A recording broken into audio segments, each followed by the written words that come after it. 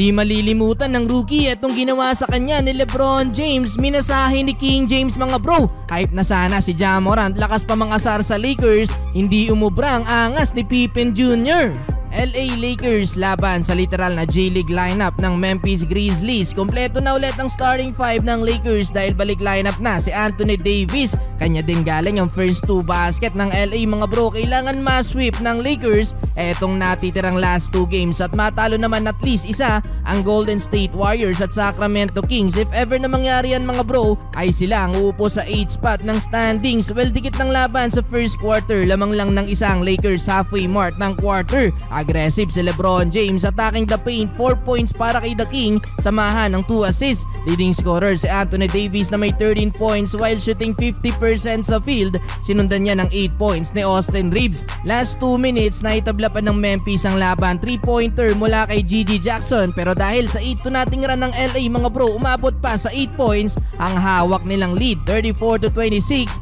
end of first quarter. Second quarter, take over si Lebron James. Slam dunk to start the quarter. Wala na ding bumalak, sumabay pa kay LBJ pero sunod na play mga bro lakas loob na humarang sa daan ni King James. Etong rookie ng Memphis. Nakatikim tuloy siya ng libreng masahe mula kay Lebron James. May foul pa yang kasama. Panigurado di malilimutan ng rookie ang moment na yan. Well umabot sa 13 points ang biggest lead ng Lakers. Pero yun nga lang dahil sa sunod-sunod naman na tres ng Memphis led by Gigi Jackson at Jake Laravia muling nakabalik sa game game ang home team. Unti-unting tinapiasan ng lamang ng Lakers last 2 minutes baba sa isang lead ng Lakers. Scottie Pippen Jr. mga bro highlight driving dunk pinosterize pa si Rui Hachimura. Tinamad dumepensa itong si LBJ hype na hype naman si Jamorant at napatayo pa sa upuan. Well dahil sa uling tatlong free throws ng Lakers eh nakalamang pa din naman ng apat ng LA 68 to 64 may tig 15 points itong si LBJ at Anthony Davis. Entering the third quarter, problema sa Lakers, mainit pa din ang shooting ng Memphis. Beyond the arc. Wala pang halfway mark, mga bro, nakapukol na sila ng apat na tres, timeout ang LA under 7 minutes,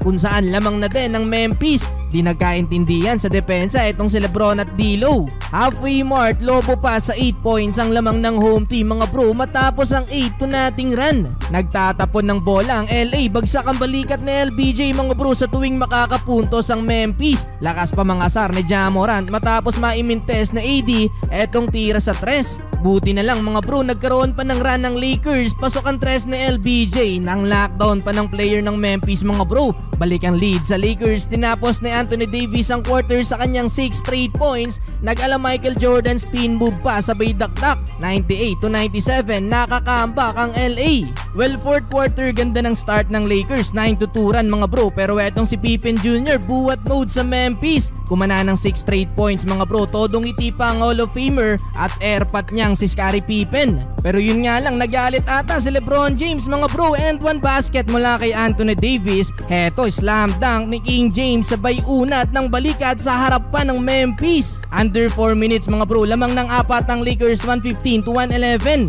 Pero babayan sa isa 3 pointer mula kay Gigi Jackson. Nasundan pa yan mga bro ng slam dunk kontra kay Anthony Davis. Last 2 minutes, dalawang mintes na free throw mula kay Anthony Davis na foul pa etong si Larivia. Dahil dyan nakalamang ang Memphis mga bro but Lebron James for the win driving layup so uli panalo pa din ng LA Lakers sa likod ng 30 point game ni LBJ.